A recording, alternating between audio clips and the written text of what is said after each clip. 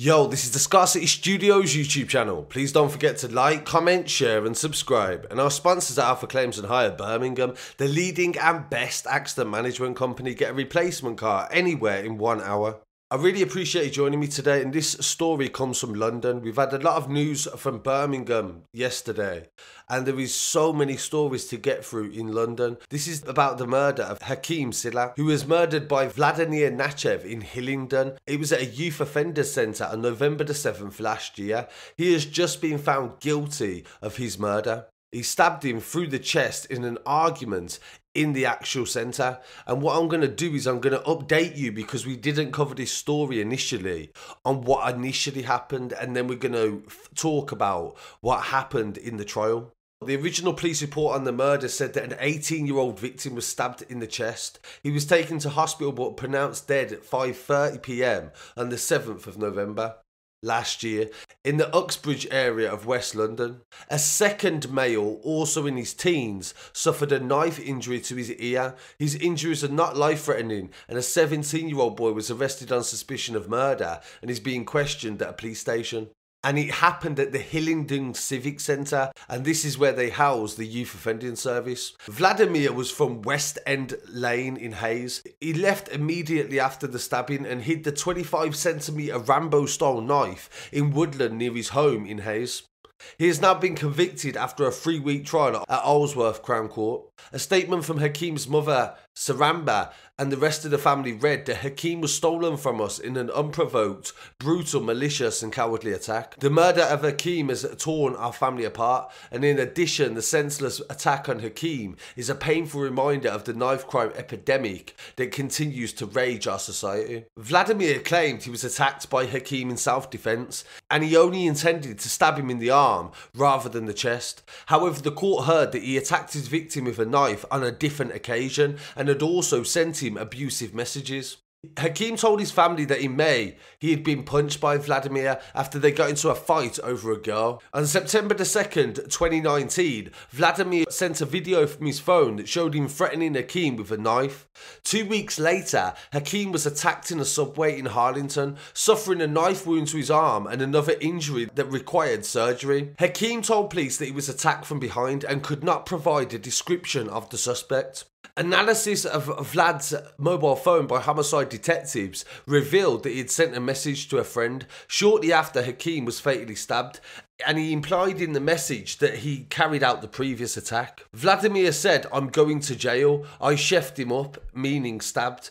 Hacks again inside YOT, the Youth Offending Service. Vladimir had already had previous beef with him. But what this also shows is that when they attacked each other, they wasn't cooperating with the police. But it would also show that there's a history between the two. And in this youth offending service, they would definitely have known about these two not getting along. They was on a knife crime awareness course and both Vlad and Hakim are turned up with concealed weapons. So, like, try and actually let this settle in. They're both on an anti knife crime awareness course and they're bringing knives to the awareness course. So, clearly, no one in that centre had any idea to the extent these kids were involved in knife crime or to the actual seriousness of it. They didn't like each other for a significant period of time and they had previous altercations. They were carrying weapons mainly, probably to protect themselves themselves. The search history on Vladimir's mobile phone shortly before the fatal stabbing demonstrates that he was a very dangerous individual.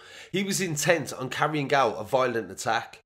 Hakim's death is another tragic example of a young life lost at the hands of another young man. In the month of October 2019, there were searches on Vladimir's phone of fatal stabbings, teen killers, moments before teen killers stabbed to death, and also GBH Section 18, uh, quadruple stabbings, bail for murder, teenager sentenced for stabbing, as well as searches for prisons and metropolitan police sites, including the one that covers the Hayes Town Centre. And the 3rd and the 4th of November, he had multiple searches for knives, including hunting knives, zombie knives, swords, samurais, and knife boxes. Vlad was found guilty of wounding with intent against another teenager in the same incident.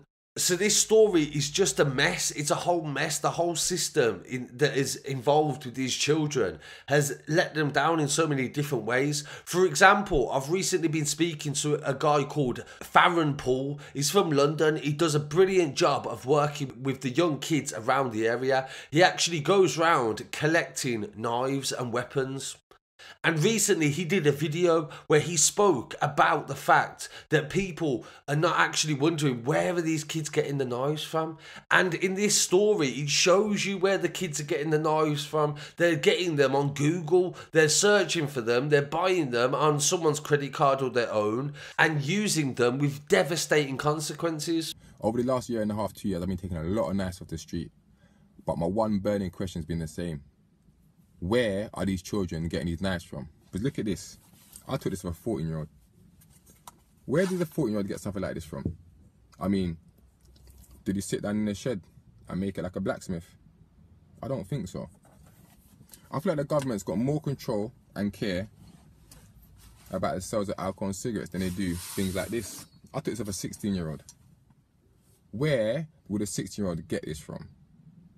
Now, what I'm trying to say is this if we've got all-time high and unprecedented rate of murder and violence in our communities, don't you feel like the government and the retailers should be doing a bit more to make sure stuff like this ain't seeping into our communities? All I'm going to say, the government and the retailers, you have blood on your hands because you're allowing the youngsters to get these kind of weapons and then turn them against each other. Yeah? Anyway, man, peace out. So I've been speaking to Faron very recently, actually, coincidentally before this story, and I'm going to be doing something with him in the very near future. I suggest that you go and follow him online as well. I'll leave a link in the description to his channel because he's going to be doing a, he does a lot of good stuff and he needs to get the credit that he deserves. So I want to send my condolences to the family of Hakim. And before I finish, actually, I want to mention something that Tiny Boo said on Twitter today about when people talk about what the kids need and they talk about youth centres and the very basic things that they think and the assumptions they make. When it shows that youth centres now and the even youth offending centres, they're not safe places for kids necessarily. You'd have to have immense security and also let's just try and be a bit more creative. What else can we do to be able to help the kids to come off road, to be able to prevent them from wanting to become involved in this? These two kids were sat in a youth offending centre with weapons, ready to ready to fight each other a, a minute. There's other kids there now somewhere doing the same thing with the same mentality. So I really appreciate it if you drop some suggestions, something a bit more creative, another idea as to how we can try and help these kids. So I appreciate you joining me for this story. There's plenty more news on the way. Uh, please don't forget to like, comment, share and subscribe and I'll be back again very soon. Peace.